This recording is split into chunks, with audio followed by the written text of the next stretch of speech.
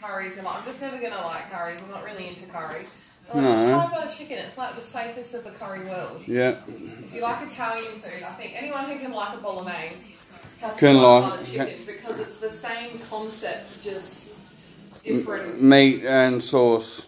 But yeah, well, it's it's it's not just that, but it's like Italian. Most Italian pastas are like uh, tomato, onion, garlic, and cream based sort of sauce. like Yeah. chicken, prawns, or meat or whatever. Yeah. It's like that, but it's tomato, onion, garlic, spices. I didn't even know there was tomato in butter chicken. That blows my mind. So there you go.